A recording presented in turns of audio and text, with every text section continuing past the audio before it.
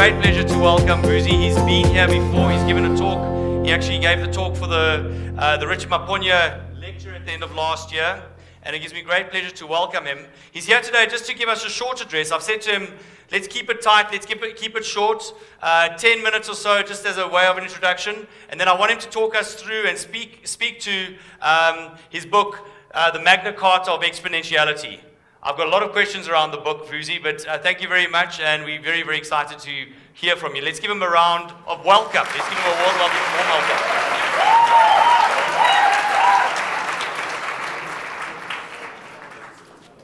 Hello, everyone. Um, just want to make sure this is on. So, first, let me apologize. I, uh, how do you say this? Um, in matters of national interest, I was held by something I couldn't delay. I I'm a, I have a thing for time, so I know that I've held some of you up. My, my deepest apologies. Um, if that's not good enough, I will take each of you out on a lunch date.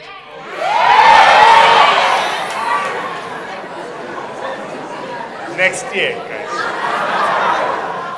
After Zuma, then we'll. Um, yeah, okay, so uh, I, think, I think it's interesting to have the conversation about the book given the moment we're in, right? So, this political moment of transition that we're facing now, and what that political moment of transition means for all of us. Let me pre premise what I'll say over the next few minutes by starting with this that one of the things we have to think about, and think about what it means for us, and what it means about the world we're in, is this place we are gathered at. These institutions of learning that we've built to give knowledge to generations of young people with the idea that once you have knowledge, you can then become economically active and provide a life for yourself. What I suppose most of you in this room don't know is that that equation is no longer as linear as it used to be. In the old school of economics, we were taught about the three factors of production, land, labor, and capital. The research tells us that until the year 1846, 90% of global wealth was sitting in land. So just to be clear, of the three factors of production until the year 1846, land alone accounted for 90% of the world's wealth. Of these three factors of production, one is dead, the other is dying, and the other is in transition. The part that's dead is the part we're all locked in here as South Africans, particularly black South Africans, and that's the land part. Land as a function of production by its very nature is dead. Uh, it used to hold that for you to become economically active and for you to become an economic citizen and for you to accumulate wealth, you needed land because land gave you access to productive assets, either on or in the ground, the stuff you plant or you mine. In the world today as we have it, the economies today that are growing, if you look at Vietnam, Malaysia, Kuala Lumpur, those economies are not economies based on things on or in land. They're not things based on the production of information and knowledge. So land is dead. And I say this, and I know it's a controversial point to black people, you can have the land. Just don't think land equals man. These are, yeah. These are not the same things. The second that is in transition is, the, is labor. Uh, when I went to school, we were taught about the world of work. So you went to school, you, you got out of school, you got a job, you got a job, you got access to this thing called an income. Income made you credit worthy, credit worthy meant you could procure assets you couldn't afford on a calculation using net present valuing of the asset. So you were earning, let's say, I don't know, 200,000 Rand a year, that's about 15,000 Rand a month, give or take, and you could buy yourself a home with 2 million Rand. The idea was that we would NPV your income going forward into the present day so you could buy this thing called the asset. Now, there's a beautiful old Spanish expression that says, the rising seas elevate all ships. So if we all went to school, all got an education, and all got jobs, and all became credit worthy, then the economy grew, which meant more jobs for more people. That equation is broken. Because today, what I used to do with three people, I now no longer need a person I can automate. Uh, factories alone are thinking long and hard about how do they remove the human element. Just last night, I was having dinner with uh, the CEO of a mining house. I can't tell you which one, but suffices to say they're one of the largest and oldest mining houses on earth. And the conversation he and I were having is how he's trying to get 11,000 jobs out of his business in South Africa in the next three years. Pick n Pay, run by a dear friend of mine, a fellow called uh, Richard Brasher, who used to run Tesco in the United Kingdom. Uh, Pick n Pay went through a process seven years later. The ConCourt has now given them the ruling. Those people used to get jobs as cashiers of Pick n Pay. That job is being automated. When I travel to the UK and I do every single month, there are no cashiers in UK grocery stores. I walk in, I take my goods, I put them in a basket, I get to something, I deep, deep, deep myself, and then I swipe and I walk out. Two employees employed in a store. The one person is a security guard, the other is the manager. That's it. Pick n Pay employs uh, what is it, 23,000 people. ShopRite is 48,000 people. Woolworths is 17,000 people. These are just the top three. Labor is dying. And then the third, which is capital.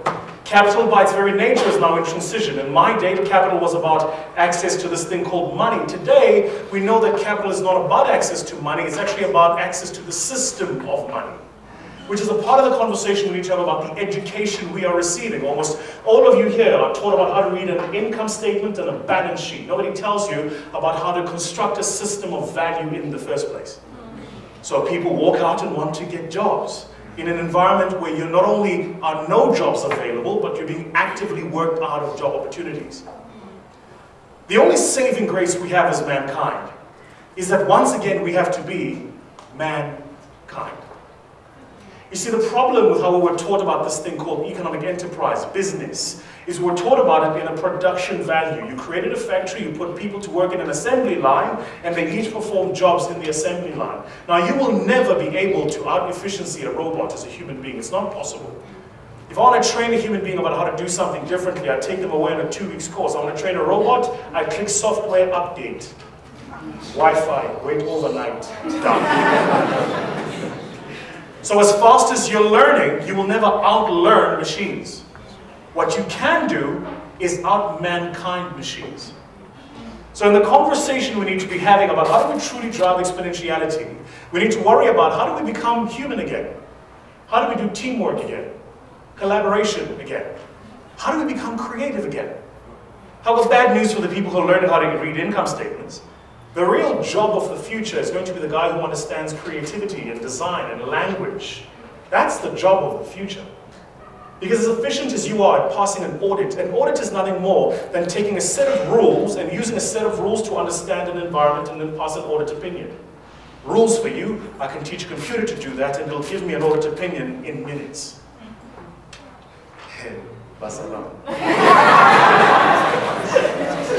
So just as a final note, why write the book on the Magna Carta of exponentiality? First, Magna Carta. It's fascinating to me when I talk to people they go, why, did the, why is the subject so complex? I deliberately chose a complex subject, not because I wanted the subject to be complex, but because the subject explained the complex subject matter. Um, and I, I, I, do this on purpose, right? So for a year, I would, there was a year I traveled to about 19 countries and I was delivering a keynote called Barbarians at the Gate. People ask me, why Barbarians at the Gate? Go learn about what Barbarians at the Gate were.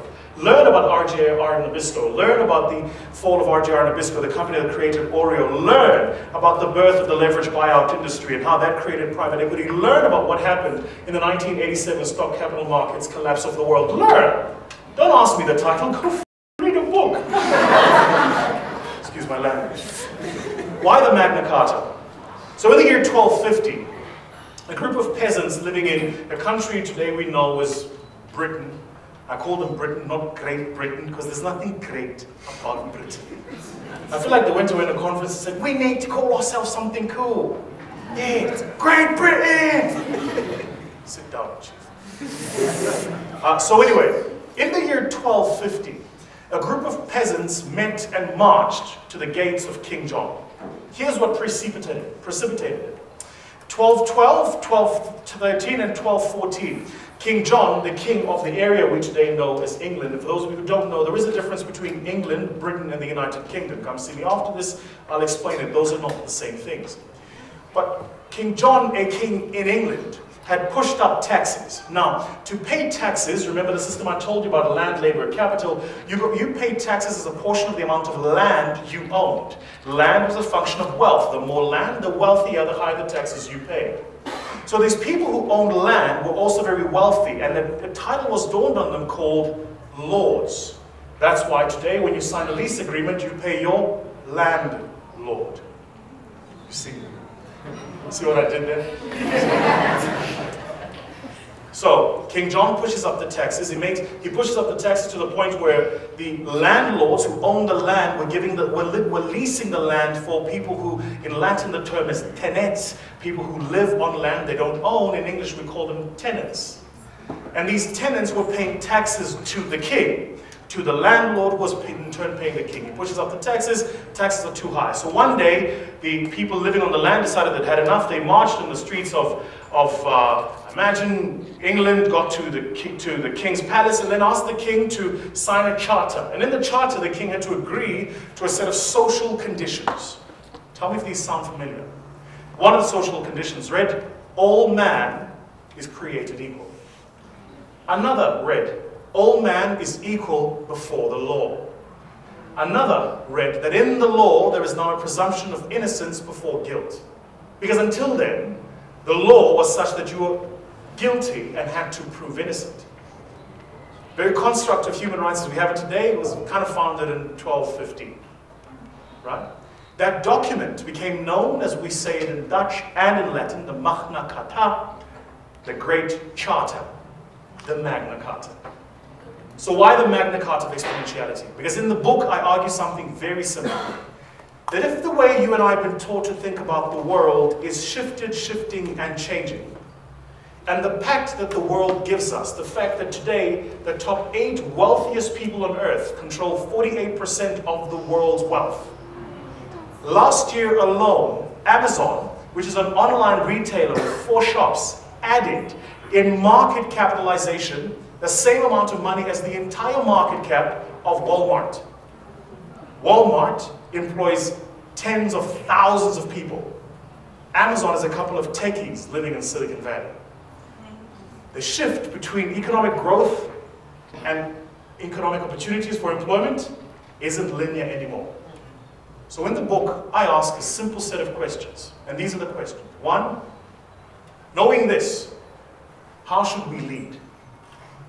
Two, given this, what should be the pact for the future? And three, and above all of these, how should leaders think about their role in an ever-changing world? That's it. Thank you very much.